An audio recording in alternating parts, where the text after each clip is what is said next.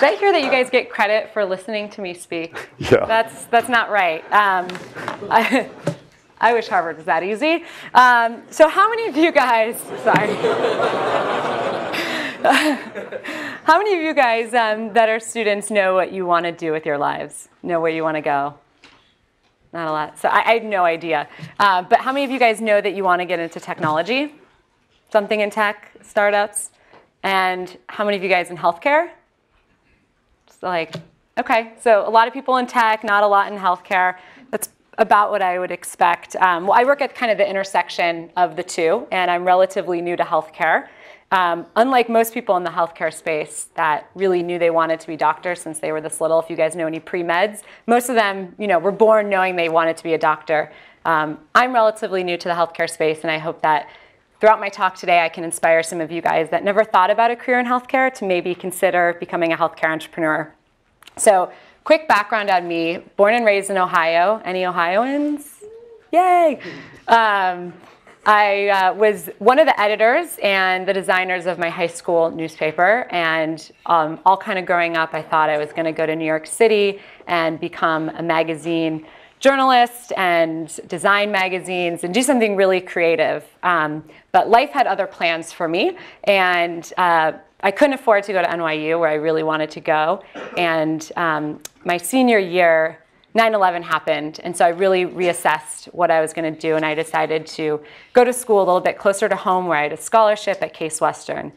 Um, at that point, I didn't know what I was going to do because my dreams of being a fashion magazine editor were crushed, and my dad convinced me to study finance. He thought that um, I was okay at math, uh, but most importantly, if I studied finance, I'd have a stable job and a 401k, and that's all uh, he really wanted for me. So I studied finance, I studied econ, and I didn't fail out. Um, and when it came time to graduate, I didn't know what I wanted to do, but I wanted to know that I, I, I knew that I wanted to go as far away as possible from Ohio. So um, I ended up getting a job out here at Intel uh, in the corporate finance department. I didn't even know what a microprocessor chip was at the time, um, but I knew that California was much better than Ohio, and I packed my bags, drove cross country, and I've been here ever since, except for the two years I went back out east. Um, I enjoyed my first job. I thought it was a really great place to launch my career. I um, uh, already knew how to work. I actually had jobs since I was 15, um, all through high school, all through college. And I think part of the battle is just knowing how to work, how to get up every day, go to the office, please a boss, keep uh, good tabs on your colleagues. So I already knew how to work. And really, it was the technical aspects of my job that I had to learn. I was responsible for a subset of revenue for Intel, and I had to pull this data out of one system, put it into another report and sent it to my boss, and she sent it to her boss, and her boss's boss, and her boss's boss. The work was pretty tedious, um, and so I decided to invest in building some macros to make my job a little bit easier. Uh, and I was able to get my job down to, I'm not going to say because someone from Intel might be watching, but a lot less than 40 hours a week. I was able to just click a button, it pulled all the data, it automatically put it into the spreadsheet, um, and I, I had a pretty easy job. So I ended up with a lot of time on my hands, and I began doing yoga, volunteering, uh, getting to know the San Francisco nightlife scene. I met my now husband at a bar in North Beach, which is no longer in existence. Um, and he was working at a little startup called Facebook at the time. Um, and one day when I was at yoga, um, I, I, was, I, was, you know, had a lot of time on my hands again. Um, I was looking around and the class was half full and there was a bunch of excess capacity in there. And I came up with an idea. I thought, you know, there's, there, it costs the studio just as much to fill this class as not. Um, and if we could make use of those extra spaces in this class, then maybe we can do some good. And so I went down the street to UCSF's Osher Cancer Center, and I said, if I can get you guys free yoga, are there recent cancer survivors that are no longer eligible for your services that we could get into these yoga studios? And um, then I went to more yoga studios and said, can you give me free passes? I'll put them to use, and you're not going to fill this class up anyways. So I started doing this on the side um, and grew the organization to about 200 yoga studios that were offering free classes across the nation. Um, and then we started doing classes within the clinical setting as well. Um, and it was really cool. I called it Yoga Bear. Um, it's still up and running, yogabear.org. Check it out. So I had this day job in uh, corporate America that paid well but was really boring. And then I had this side project um, that was going really well, that was really interesting, but most importantly, really rewarding. So I had these two kind of lives that I was living. Um, and I did what any you know 20 something that doesn't know what they want to do with their lives did. I applied to grad school um, and was fortunate enough to get accepted to Harvard Business School, where I decided I would figure out what the heck I wanted to do with my life. Um, by that point, at least I knew the direction I wanted to go in. I loved Silicon Valley. I loved the technology industry. Um, I love the energy and optimism that's out here. But also, through my work with Yoga Bear, recognized that there was a lot of issues with our healthcare system and how we define care and how we really help people get better. Um, so I tried to uh, learn as much as I could about this industry called mobile health and how our phones would turn into healthcare for us. Um, I was very lucky to get an internship at Apple where they put me in charge of the healthcare and medical segment. Um, the fact that they put an intern in charge of that segment probably uh, illustrates how the, the, segment was doing for the App Store. It wasn't that interesting, uh, wasn't that profitable. Um, it's getting better, but the, the gaming segment, the lifestyle segment, the sports segment, all these other apps just had a ton of really great products and really great entrepreneurs that were building tools. Um, and the developers that I, work- I was working with at the time were mostly third tier development shops um, overseas that hospitals or large healthcare companies would hire to build an app. And I was really disappointed uh, that I didn't see more great entrepreneurs in the space. And so I came up with an idea, um, Rock Health, which is what I'm doing now, to really inspire and find and support great entrepreneurs that want to take a stab at fixing some problems in healthcare. Um, so that's kind of how I got to where I am. Uh, and now that you know a little bit more about me, I'd really like to just spend the rest of the time trying to convince you that healthcare needs your talents. Um, and if I can just get even one of you excited about healthcare, I think uh, uh, it'll be worth the rush hour drive that I took to get here. Um, so the healthcare system traditionally hasn't done a great job welcoming diverse talents into the space. The industry is full of jargon and complexities and it's notoriously closed, hierarchical, understaffed, chaotic. Nothing that was appealing to me as a 19-year-old, um, and perhaps why so few of you raised your hands today. And the healthcare industry likes to think that it's unique. It likes to think that it's a system unlike other systems that we experience. Um, and it thinks it has a monopoly on wisdom of how to solve the problems that we face. Uh, but I like to quote Albert Einstein when he said, We cannot solve our problems with the same thinking we used when we created them. Healthcare is a system, and we need all sorts of thinkers developers, designers, economists, system architects. We really need even MBAs uh, to work together to make change in the industry. I've committed my career to finding and inspiring the best entrepreneurs who can think differently about the problems that we face today. If you didn't know, um, our healthcare system is a big hot mess. Uh, it's one of the largest industries in our nation. We spend 2.7 trillion on healthcare in the U.S. alone. To put that into context, does anybody know how big the U.S. advertising industry is? It's 150 billion. So the total addressable US market for Twitter, Facebook, Google, Snapchat is 5% of the healthcare market. So we have all these really great entrepreneurs that are building new ways to share photos, yet that market is only 5% of what a market in healthcare could be for your business. So from a business standpoint, you should consider it. Um, we have the most expensive system in the world, yet our health outcomes and quality are no better and often worse than other developed nations. The National Academy of Sciences put a report out last year saying that Americans are less healthy across their entire lifespans than citizens of 16 other wealthy nations. We live shorter lives, experience more injuries and illnesses than people in other high income countries, but we pay the most. And as healthcare consumers, which you all are, this should make you very, very mad. I can't think of another industry that's so vital to our lives that's so universal that touches every one of us throughout our entire lives that's also so broken. So, to understand some of the problems, um, the costs, and why costs are so high and why outcomes are so dismal, I wanted to take uh, a few minutes to describe three problems that are systemic problems in healthcare. The first is how we pay for healthcare. The second is how providers, our hospitals, price healthcare. And the third is all around our personal health records and how they don't really belong to you. So let's talk about how we pay for healthcare. Does anybody know how we pay for healthcare? Employers? Employers, yep. Um, so consumers, while we consume uh, over two trillion in healthcare services, we actually only pay for, out of pocket, ourselves directly, 12% of the healthcare we consume. Uh, so when it comes to paying for healthcare, we as consumers expect not to pay. So who's, in, who's paying? It's really our employers. Um, over the past 50 years, there have been major shifts in who pays for healthcare, and employers are now spending 21, sorry, are now paying for 21% of healthcare spending, mostly via insurance premiums. This employment-based system that we've created was not the product of a carefully designed health policy in a free market was actually the byproduct of wage controls during World War II. So during this time, employers had a wage freeze and they had a ceiling on how much they could pay employees. Uh, but there was a loophole. Wage controls only accounted for salaries. Uh, employers could get creative and provide fringe benefits like health care. Um, and they were able to do that and provide health care so they compete with one another.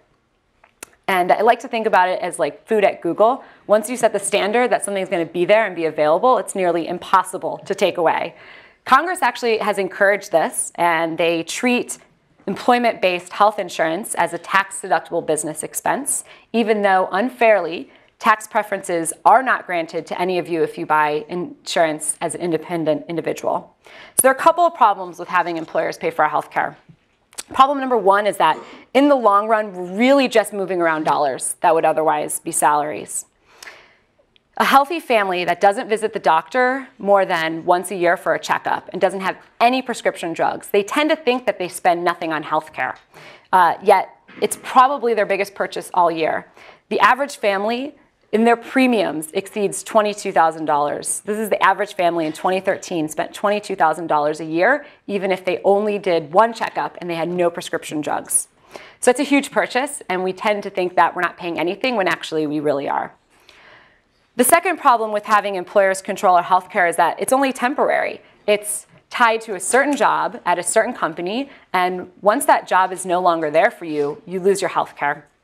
Nowhere else in the industrialized world does a family that's already down on their luck from losing their job also lose their health insurance. It only happens here in America under the employment-based healthcare insurance. So the second systemic problem is really how we price healthcare. Um, and this one was, was really fun to learn about. Uh, healthcare is not a free market.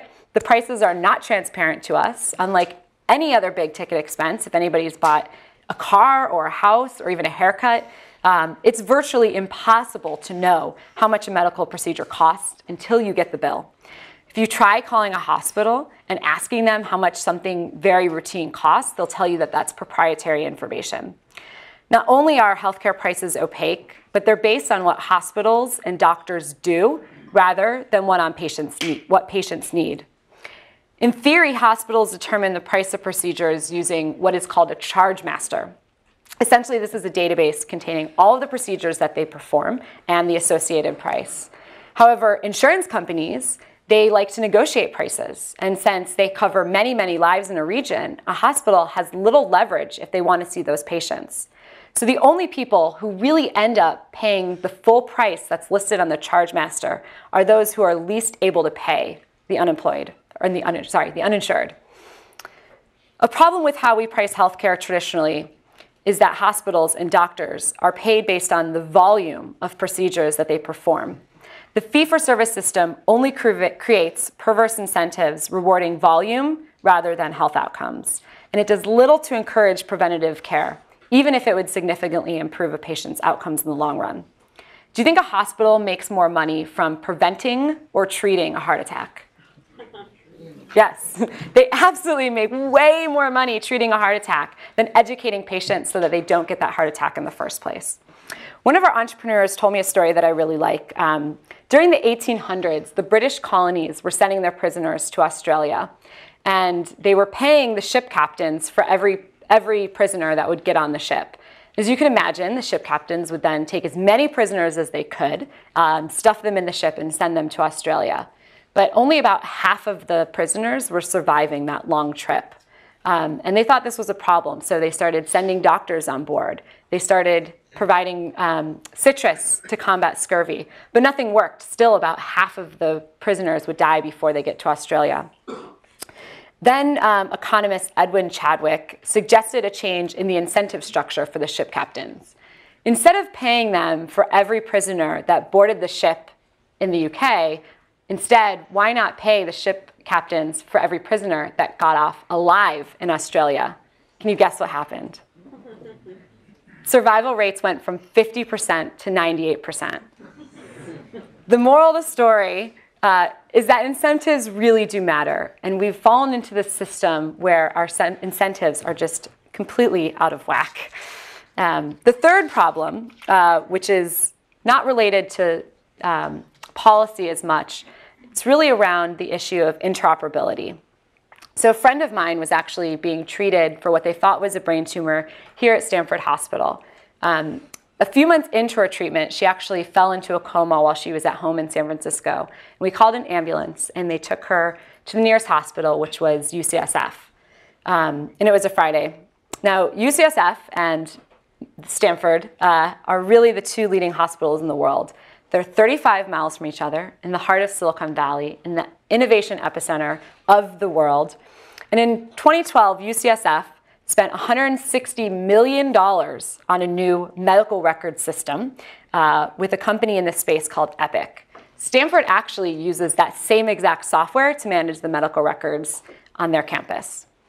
Despite all of this, UCSF was unable to obtain her medical files outlining her condition, her latest MRI results, and other health details for four days. It was the weekend, and there was no human being to transfer this vital information 35 miles.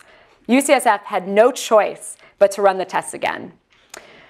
I tell this story because a lot of the problems in healthcare are not technology problems. I wish they were technology problems because there are a lot of really smart technologists. Um, but the technology to remotely share health records is not novel. It's not a groundbreaking technology. It's a systemic problem. We treat medical records as though they were Stanford's property, not the patient's property. There was no financial disincentive or penalty for Stanford not to share those records. And UCSF actually made more money by being able to run those tests again. There is an incentive problem for providers not to be interoperable, and that's truly a market failure. I could go on and on and on and on listing all of the problems in this mess that we've inherited. The healthcare system simply doesn't work, and we all have a responsibility to fix it. So let's talk about some of the people and the companies that are doing just that.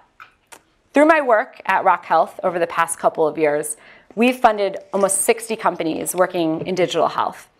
We look for entrepreneurs from inside or outside the healthcare system who are working on software and hardware solutions that will transform the industry. One of the first companies we funded is called CellScope. The team came out of a microscopy lab in Berkeley in 2011. They developed a hardware gadget that sits over the camera on a smartphone and turns it into an otoscope. So this means that parents can diagnose an ear infection at home. They can take diagnostic quality ear images to detect something that normally would have to be done through a doctor's office. I imagine not many of you have children, but ear infections are the number one reason for doctor's visits uh, with kids. And here's the thing Parents usually know when their child has an ear infection, yet they have to go through the process uh, of taking the kids, dragging their sick kids to the doctors for treatment. Imagine the time and money saved uh, when the parents can take the image, actually it's a video, from the comfort of their home at any time of the day, and a doctor can remotely determine if the child needs antibiotics or not. CellScope raised funding from Khosla Ventures, and they began shipping product in December. And all the companies I'm going to tell you about today are hiring. Um, I don't know if you guys know this, but uh, Benadryl at a hospital costs $800. Um, one of our companies, KitCheck, is automating hospital pharmacies and trying to reduce the overall cost of medicine. Entrepreneurs Kevin and Tim came to Rock Health in 2012. Kevin worked at Sun, where he brought Java and RFID to, to market, and he went to college with Tim, who's a software developer. They were having dinner with a friend who's a hospital pharmacist. So this is a pharmacist that's embedded within the hospital instead of working at Walgreens or CVS. And she was complaining that she had to check, uh, she had to manually check each set of medications for a procedure. This simple conversation about a simple pain point in the system for one pharmacist inspired Kevin and Tim to start this company, KitCheck, that digitizes the inventory tracking for a hospital setting. So their first use case is in emergency kits. Basically, inside a hospital, uh, on each floor or in multiple, multiple places on the floor, there's a crash cart that's used in emergencies. On the cart is a small tray of vials crammed with about 80 life-saving uh, medications. And if someone crashes, a button is pushed, the cart is wheeled over, and a doctor looks for what they need um, and hopefully picks the medicine that will save the patient's life. So the cart now has 79 drugs and needs to be taken back to the central pharmacy where the medicine is restocked. And if I had a picture of one of these kits with the 79 uh, medications with one vial missing, I promise you would not be able to find the missing one. It takes time and manual effort, and hospitals have dozens of people on staff that are just checking for missing medications, expired drugs, or potentially mislabeled vials. Kevin and Tim were consist, cons, uh, Kevin and Tim knew there was a better way, so they developed a solution. They tag every medicine in a kit with an RFID, and they use a scanning station and cloud software so a hospital can see its entire inventory in seconds and know which kits may have expired or missing medicine. Automating this manual labor intensive checking process saves time and money. And last I heard from Kevin, over 100 medical errors are prevented every day using their product. They raised 10.5 million last year in venture funding and now have dozens of hospitals that are using their product. The last company I want to talk about is called NeuroTrack. It's a completely software-based Alzheimer's diagnostic. They came to Rock Health in the summer of 2012 after completing an NIH trial at uh, Emory University. And they ended up following the patients in the trial for an additional two years, and they found that the software could predict Alzheimer's three to six years earlier than the status quo. NeuroTrack's diagnostics, it's not a biomarker, it's not a genetic test, it's an eye tracking test taken on a computer using software. It takes less than seven minutes and requires no specialized training. You don't have to download anything. Um, it is based on innate human preference for novelty, and with its algorithms can detect highly subtle changes in a person's cognitive function. It's not necessarily the direct-to-consumer uh, application that's most exciting, although I'm sure all of you would be very interested to take the test. It's really the application in clinical trials. Today, we have no treatment for the millions and millions of people who suffer from this devastating disease. Most experts and researchers will say we have the molecules, we have the targets. It's just impossible to put together the perfect clinical trial because you don't know who's going to get Alzheimer's or not. They raised a Series A from Peter Thiel and the Social Capital Partnership last year and are now actively working with pharmaceutical companies to better design their clinical trials so we can find a cure for Alzheimer's. So these three companies, CellScope, KitCheck, and NeuroTrack, I think are great examples of entrepreneurs, mostly from outside of healthcare, today that are using technology to transform healthcare. These tools really allow us to be high resolution in our understanding of the patient. They move us from a reactive system to a preventative model which saves money and lives. Our current system is hospital-centric and doctor-dependent, but with technology we can move care out of the hospital walls and into our homes and our daily lives. Technology allows a team of caregivers to communicate and collaborate on a healthy, uh, on the health of a child or elderly family member. And perhaps most importantly, technology can, can, empower all of us to take healthcare into our own hands and be more proactive. All these things are changing healthcare as we know it. So what's this all about? It's not about eliminating doctors. It really isn't. Any doctors in the room? I piss off a lot of doctors. Um, it's really not about replacing doctors. If we look at what we call the healthcare supply stack, the chain of specialists, generalists, nurses, lay people, and we can just move the diagnosis from inside the very expensive healthcare into the patient's hands, just cascade it downwards for the things that are more routine, like ear infections. Things can be diagnosed with ubiquitous software and sensors, and we have this amazing opportunity to free up capacity in the system. Then doctors can focus on the most complex cases and coordinating care for the highest risk patients. Imagine if today every woman needed to go to the doctors to get a pregnancy test. or if we had to see a specialist to get a strep, strep, strep throat diagnosis, it pulls an incredible amount of cost out of the system. We all interact with the very costly system less, and we free up our capacity to focus on the most complex cases.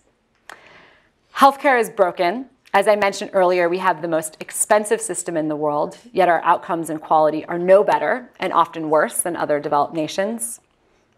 We all know that modern technology has the power to lower costs and make healthcare better for everyone, yet the use of technology in healthcare is minimal. Over the last 20 years, while the general economy has seen labor productivity gains of 1.8% per year, productivity in the healthcare industry has declined. We need more people today than we needed 20 years ago, and we get no better output from it.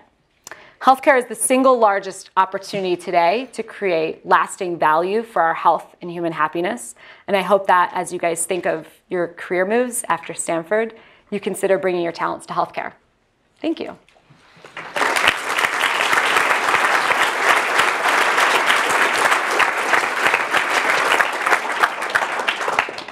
So I forgot to say that she is one of CNN's 12 entrepreneurs reinventing healthcare. I think you just see why, or saw why.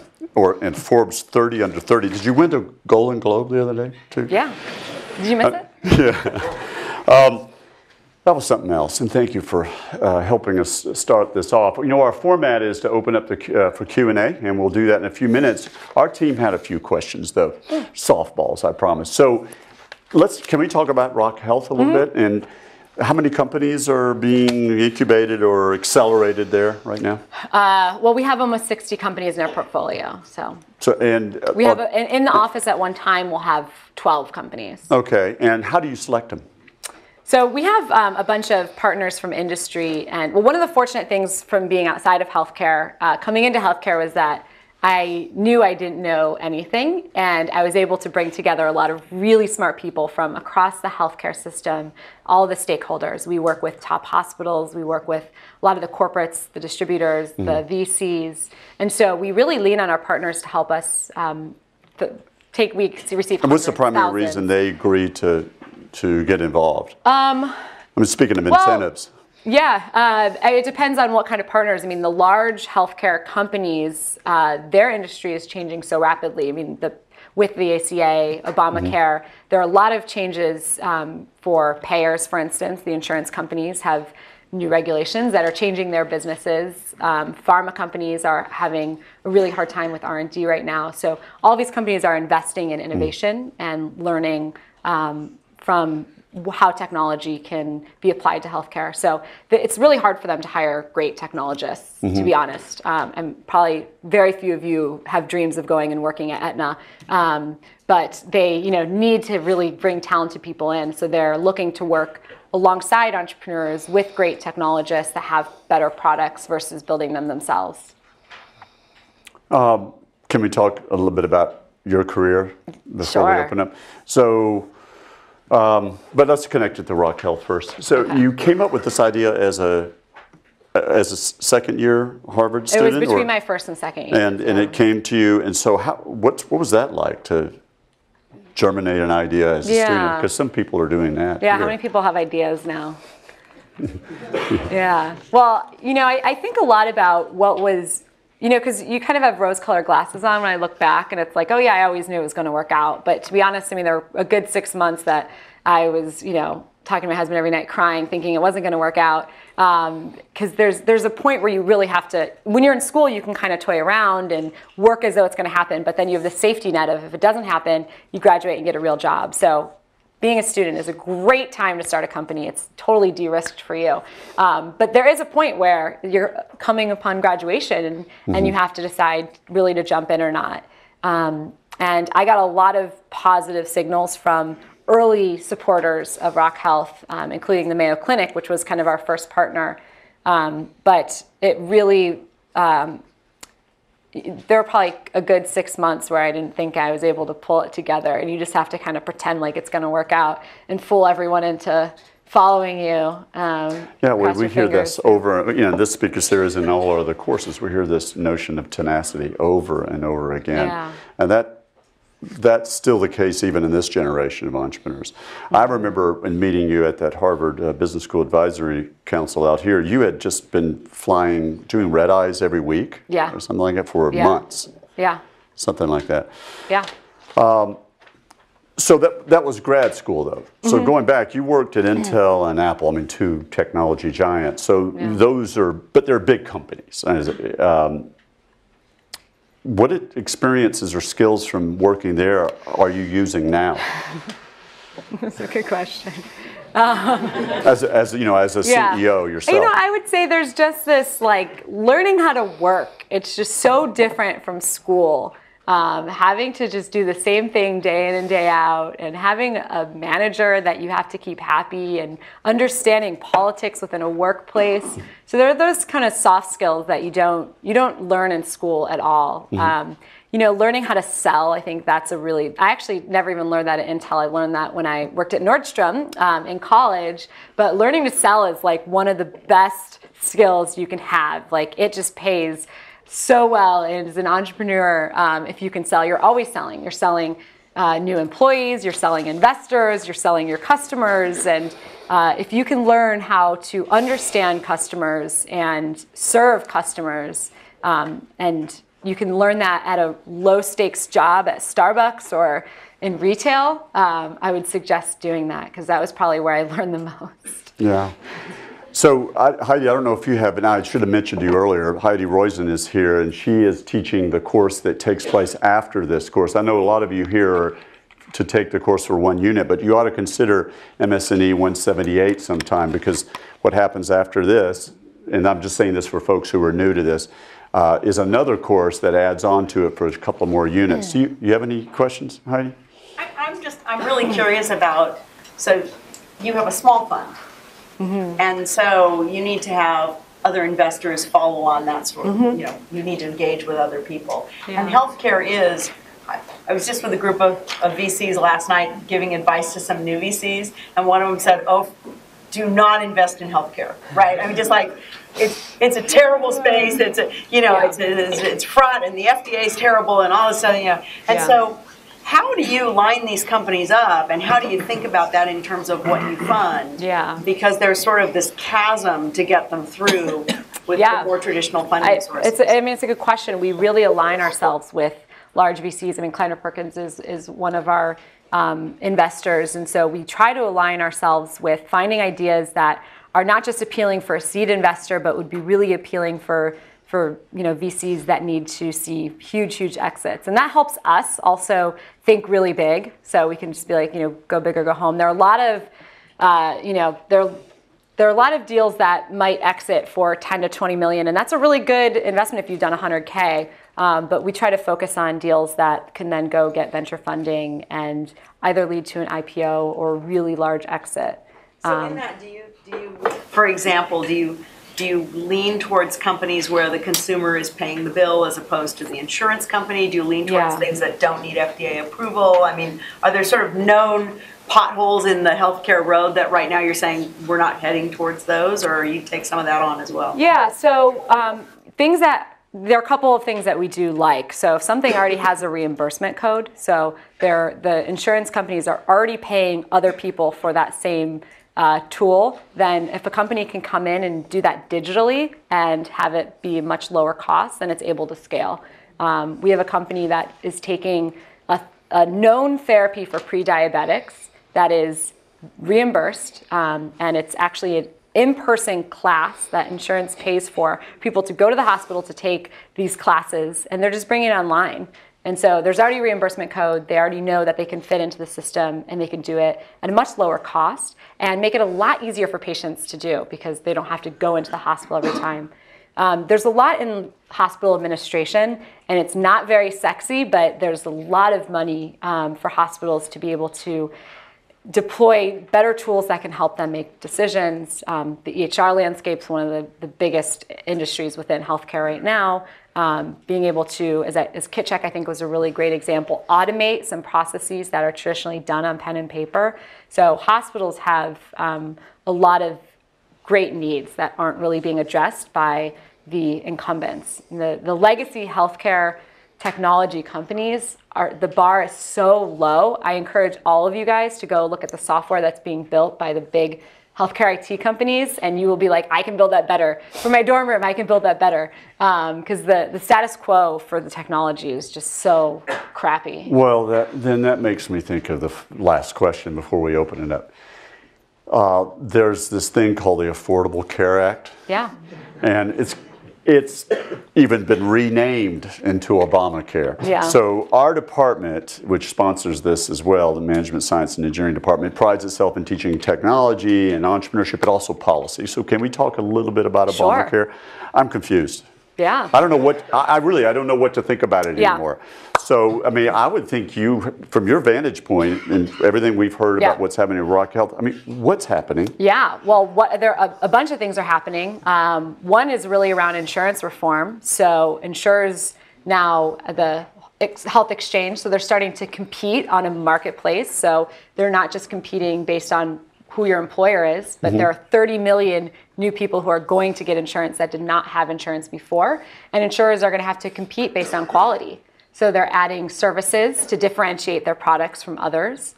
Um, and so we're starting to see them really invest in greater tools for their population. We're also seeing new health insurance companies pop up. I don't know if you guys have heard of Oscar in New York, but a classmate of mine from HBS was like, I could do this better. He's so, yeah, I mean, he's like a he's a tech investor. He invested in in, in Instagram and Vostu, and, and he's like, you know, I want to start a new health insurance company that's better than anything out there. That people can email us and we can have better service and we have lower infrastructure costs because we don't have this legacy group of people we have to insure. So that's one piece of the Affordable Care Act that I think is making a big difference. Um, I mean, another thing that I, you know, I talk a lot. Of, I talked a lot about how we pay for healthcare and how right now we pay for volume rather than outcomes. But one of the things that is changing um, is around the way we pay for healthcare. And there are things being set up called accountable care organizations, ACOs. You guys might have read about them, but they're really um, new financial instruments for providers that enable them to get paid based on caring for patients as a group. So the incentives are restructured so that they have teams of care coordinators that are taking care of a patient instead of having you go see 15 specialists if you have some chronic disease. All right. Well, you've been so patient, so I'm going to give it to uh, give it to you. You have any further questions for her?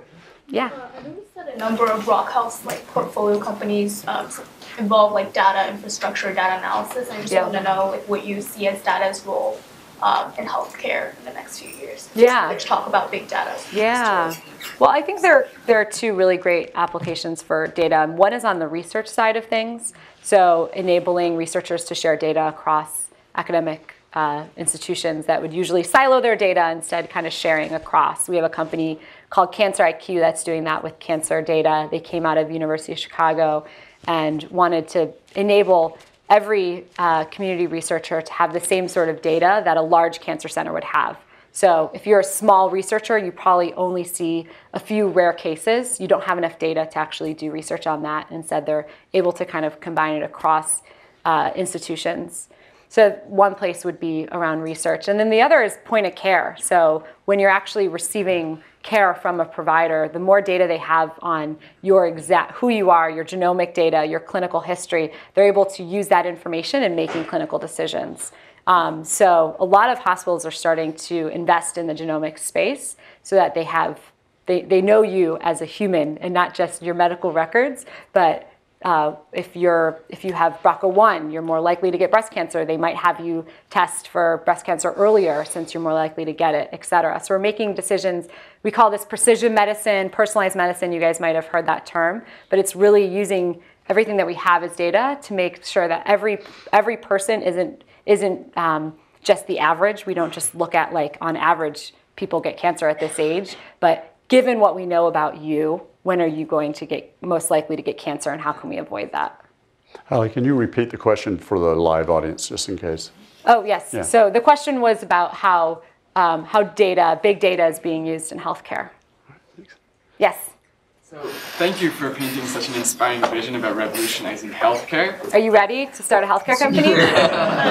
hopefully, but you also explained how broken the system was. Yeah. So, you talked a lot about the opportunities entrepreneurs have, but what are the challenges that they're facing right now? yeah.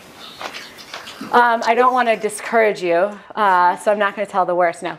Um, there are a lot of challenges um, for entrepreneurs in healthcare, and they're really changing. I would say three years ago, when I started this, the problem was getting funding. So there weren't a lot of investors that were comfortable with both the technology aspect and the healthcare aspect. Traditional VC is divided between life science, that has traditionally been therapeutics and devices, and technology, that's generally been consumer web um, or enterprise. And this kind of intersection, there are a few VCs three years ago that were focused on it. Um, there were a couple of VCs that were well positioned because they had people in both areas. So uh, VCs like Kleiner and NEA that have both a life science practice and a tech practice were able to move really fast. So I'd say three years ago it was funding, but since I started this um, in 2011, funding, venture funding in the space has more than doubled. So we've seen this year, um, I think it was almost $2 billion that was invested in digital health, which is really exciting. Um, and funding is no longer a problem, I don't think. Um, our entrepreneurs have raised over 100 million in follow-on funding. So they're they're definitely getting funded. Not all of them, but you know, a lot of them are, are getting funded. And I think the problems, the biggest problems now, um, are really around how fragmented the system is. And if you're selling to a hospital, if you're selling to even an insurer, whoever your customer is, there are thousands of them, and you have to go out and build a sales team to to really go sell those customers. So um, I think that would be probably the most challenging on the enterprise side. And then on the consumer side, um, I mentioned in my talk that we only pay for 12% of our healthcare. We don't like paying for things. We're cheap when it comes to healthcare. Um, we want someone else to pay. And so coming up with business models that um, rely on having the consumers pay for things is really challenging. So you have to figure out where the value is being added. So maybe the consumer doesn't pay, but you're adding, you're keeping the consumer healthy so that the insurance company doesn't have to pay for something down the road. So maybe you can convince the insurance company to pay for it. Probably not, but maybe. Or employers, maybe an employer would pay for it since it's more wellness oriented. Um, so I think the business model part is, is a big challenge for entrepreneurs, but it's not insurmountable. Yeah. How does uh, Rock Health differentiate itself from other incubators in the space like StartX Med or Health Labs? Yeah. So we're we're not an incubator anymore. We're a full service seed fund. So we started out as an incubator. And we were at the twenty thousand dollar investment level, um, and then we kind of evolved to become more of a seed investor because we knew that the companies needed to to have a little more funding than twenty thousand. So we give a hundred thousand. Um, so we're kind of in, in between incubators and venture funds. And I would say uh, we're very complementary to, we've had companies go through StartX and Rock Health. We've had a ton of companies go through YC and Rock Health. Um, and so we see ourselves as very complementary, and it's great to see all these places that are trying to support entrepreneurs. It's a good thing for us. Yeah, back there. Uh, you talked a lot at the beginning about uh, preventive health. I know you have a lot of health wellness fitness uh, digital technologies in your portfolio. Yeah. Can you talk about the opportunities you see in that part of the market? Yeah. Uh, I mean, well, wellness is a $36 billion market. Um, and consumers have, for a very long time, paid for things like supplements, gym memberships, um, things that kind of keep us healthy. The diet industry is huge, as you know. So that's kind of a market that already exists. And digitizing it is a really interesting opportunity. We have uh, a couple companies that are in the space. I'll just give one example of a Stanford company called Wello. Um, and they're basically creating an online platform for trainers to meet virtually with um, with anyone who wants a personal trainer but can't afford to have one at the gym. And because it's online, it's cheaper. You can do it at your at home. If you're on the road a lot, you can stay with your trainer. You don't have to actually go into the gym. And trainers who are usually really busy before work and after work, so they're usually busy between like 6 and 8 a.m. and 5 and 7 p.m. And then the day they're kind of you know, at, at a loss of what to do. They're actually connecting people with trainers that are in different um, time zones. So they might be in New York and you're in San Francisco, and so they have a lot of downtime and they'll take a client virtually for a lot less because they want to fill their time. Um, so they're bringing down the cost of having a personal trainer and getting fit, and they're increasing access for all of us. Um, and that's you know in the wellness in the wellness space. And I'm really excited about what they're doing.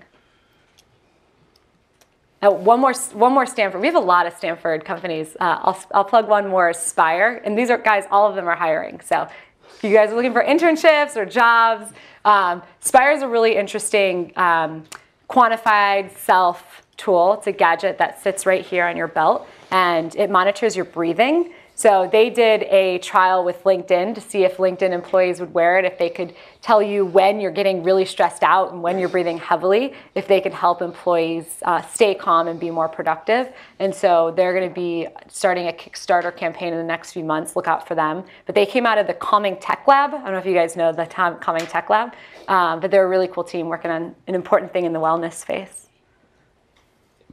Yeah. Uh, so you mentioned a lot of the advantages of digital health like the fact that it can provide ease of access to healthcare and it can make it cheaper. Yeah. But what do you think are some of the disadvantages of medicine progressing towards digital health? Like, do you think it presents new like privacy challenges or security challenges, or what would you say to critics who say that Yeah. like digital health is kind of like commodifying healthcare and removing like the typical, the traditional uh, patient-physician relationship? Yeah. Um, well, you know, doctors are spending a lot of their time with their backs towards their patients, typing into the EMR system, and that's a complaint that you know is very loud and clear in the system. I don't know if any of you guys have experienced that. Um, so there are ways that technology has kind of distracted providers from what's really the task at hand. It's caring for an individual and that one-on-one relationship. Um, and I think that that's uh, that, that's a problem. Um, however, having that information digitally and not have and having kind of a record is the price. I mean, that's the price you pay to have kind of uh, your information stored. So there are definitely pros and cons. Um, but it's also again like a cultural. It's a cultural thing. These are not necessarily technology problems. They're you know why don't we rethink? Why aren't we using iPads then? Because you know you can really use an iPad while looking someone looking at someone in the in the eyes. Um, but it's a good question. I think that um, I obviously believe there are more benefits than cons of using technology within the system, but we have to be really aware of the, the pitfalls. Yeah. When you think about the moment of informed consent to procedures Yeah. in hospital and empowering the patient, have you seen any apps come forward that instead of empowering the docs and hospitals, are empowering patients Hmm. at that moment of critical care? I, I don't So think could you repeat the question yeah. people the back? So the question was, um, have I have, have I seen any tools that enable informed consent at the point of care? Um, and I don't know if I have. So are you working on something like that? What's the name of it? Um, We'll talk after. All right. All right. Some students over here. Yeah. So you mentioned that um, one of the difficulties in the healthcare space is that, especially as compared to traditional VC roles in tech, um, healthcare is much more highly regulated. We saw that recently with um, the FDA cracking down on 23andMe. Yeah.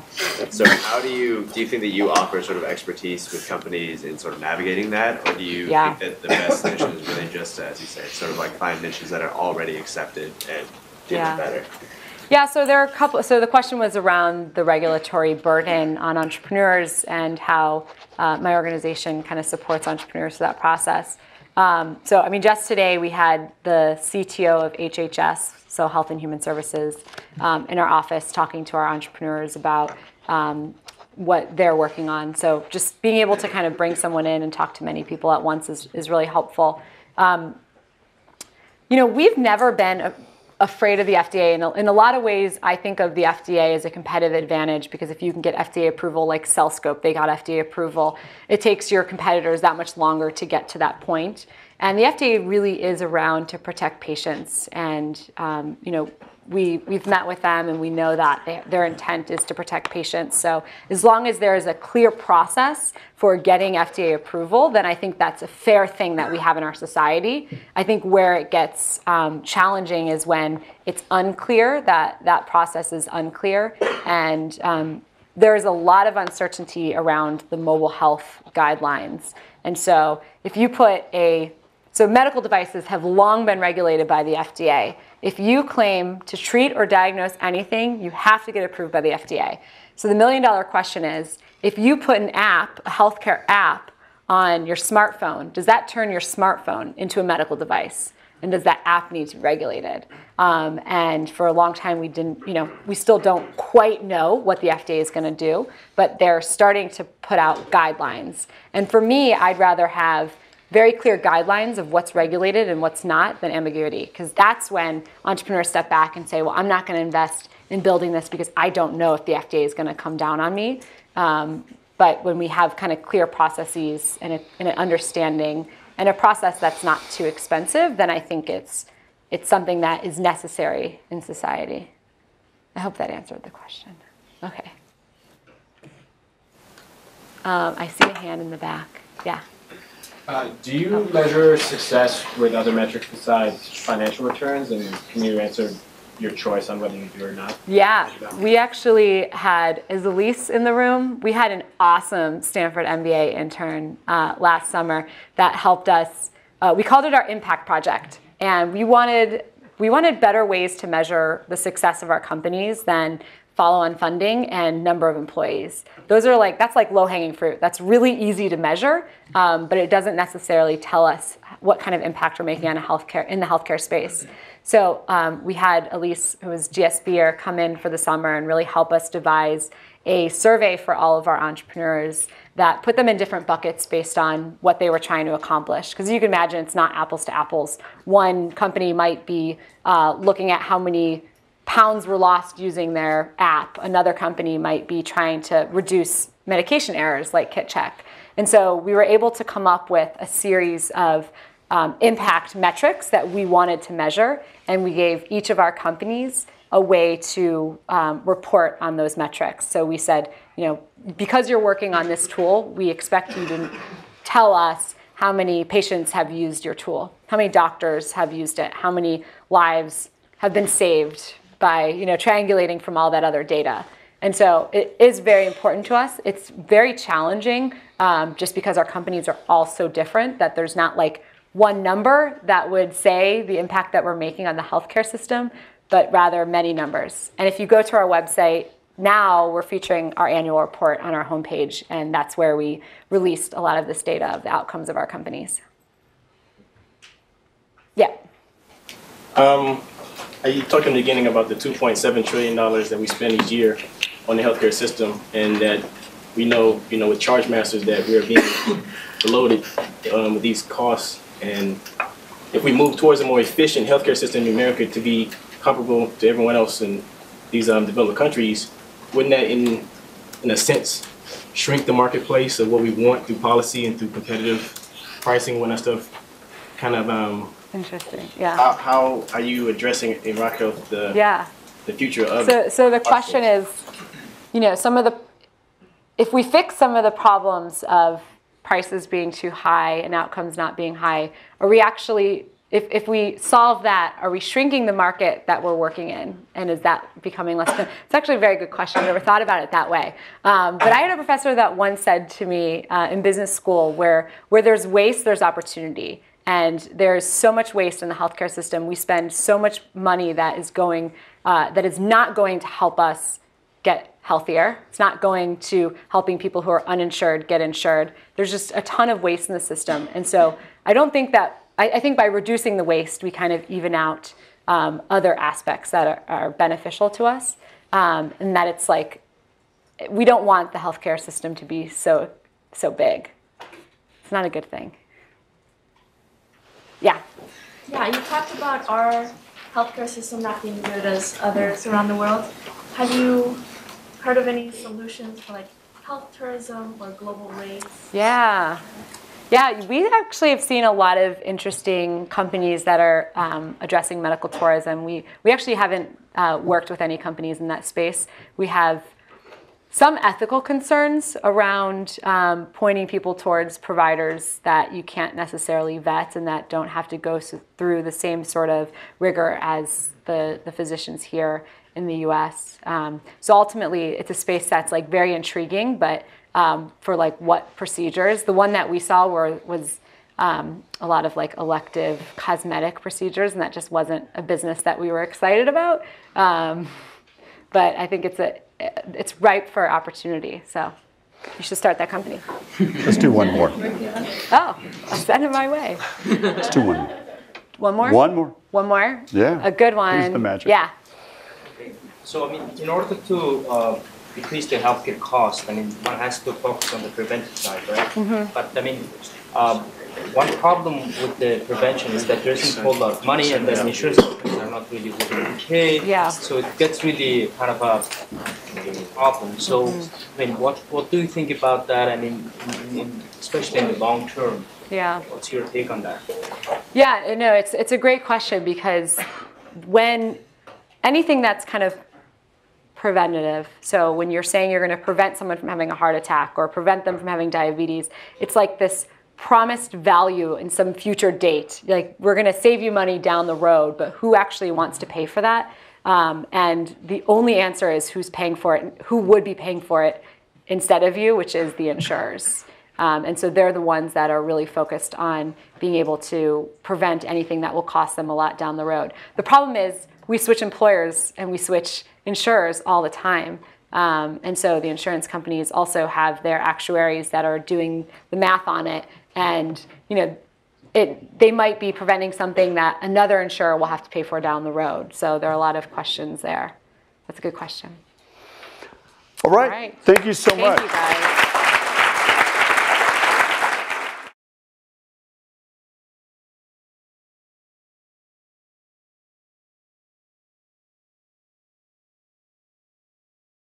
um, and grew the organization to about 200 yoga studios that were offering free classes across the nation. Um, and then we started doing classes within the clinical setting as well. Um, and it was really cool. I called it Yoga Bear. Um, it's still up and running, yogabear.org. Check it out.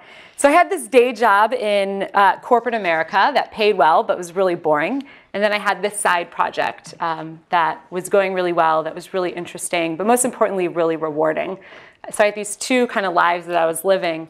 Um, and I did what any, you know, 20-something that doesn't know what they want to do with their lives did. I applied to grad school um, and was fortunate enough to get accepted to Harvard Business School, where I decided I would figure out what the heck I wanted to do with my life. Um, by that point, at least I knew the direction I wanted to go in. I loved Silicon Valley. I loved the technology industry. Um, I love the energy and optimism that's out here. But also, through my work with Yoga Bear, recognized that there was a lot of issues with our healthcare system and how we define care and how we really help people get better. Um, so I tried to uh, learn as much as I could about this industry called mobile health and how our phones would turn into healthcare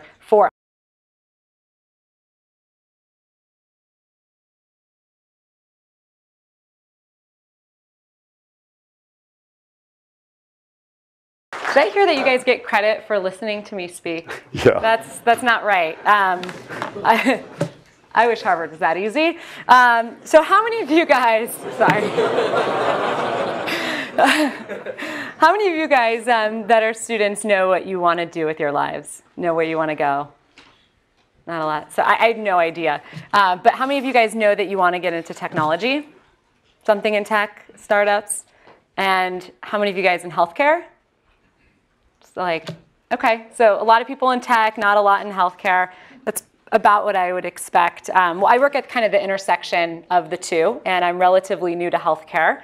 Um, unlike most people in the healthcare space that really knew they wanted to be doctors since they were this little, if you guys know any pre-meds, most of them, you know, were born knowing they wanted to be a doctor. Um, I'm relatively new to the healthcare space, and I hope that throughout my talk today, I can inspire some of you guys that never thought about a career in healthcare to maybe consider becoming a healthcare entrepreneur. So, quick background on me born and raised in Ohio. Any Ohioans? Yay! Um, I uh, was one of the editors and the designers of my high school newspaper. And um, all kind of growing up, I thought I was going to go to New York City and become a magazine journalist and design magazines and do something really creative. Um, but life had other plans for me. And uh, I couldn't afford to go to NYU, where I really wanted to go. And um, my senior year, 9 11 happened. And so I really reassessed what I was going to do. And I decided to go to school a little bit closer to home, where I had a scholarship at Case Western. Um, at that point, I didn't know what I was going to do because my dreams of being a fashion magazine editor were crushed. And my dad convinced me to study finance. He thought that um, I was okay at math, uh, but most importantly, if I studied finance, I'd have a stable job and a 401k, and that's all uh, he really wanted for me. So I studied finance, I studied econ, and I didn't fail out. Um, and when it came time to graduate, I didn't know what I wanted to do, but I wanted to know that I, I, I knew that I wanted to go as far away as possible from Ohio. So um, I was able to just click a button, it pulled all the data, it automatically put it into the spreadsheet, um, and I, I had a pretty easy job.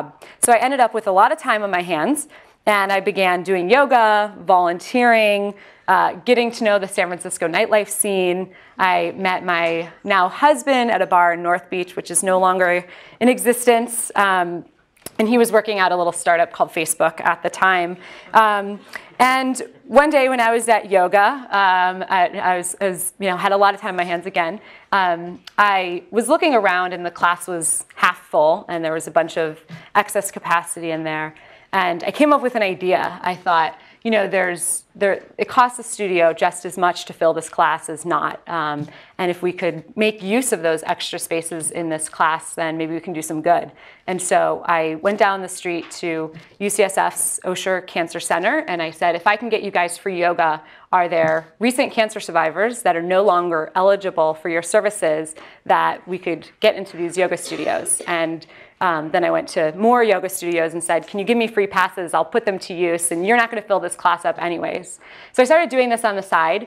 Um, I ended up getting a job out here at Intel uh, in the corporate finance department. I didn't even know what a microprocessor chip was at the time, um, but I knew that California was much better than Ohio, and I packed my bags, drove cross country, and I've been here ever since, except for the two years I went back out east. Um, I enjoyed my first job. I thought it was a really great place to launch my career. I um, uh, already knew how to work. I actually had jobs since I was 15, um, all through high school, all through college. And I think part of the battle is just knowing how to work, how to get up every day, go to the office, please a boss, keep uh, good tabs on your colleagues. So I already knew how to work. And really, it was the technical aspects of my job that I had to learn. I was responsible for a subset of revenue for Intel, and I had to pull this data out of one system, put it into another report, and send it to my boss, and she sent it to her boss, and her boss's boss, and her boss's boss. The work was pretty tedious, um, and so I decided to invest in building some macros to make my job a little bit easier. Uh, and I was able to get my job down to, I'm not going to say because someone from Intel might be watching, but a lot less than 40 hours a week. I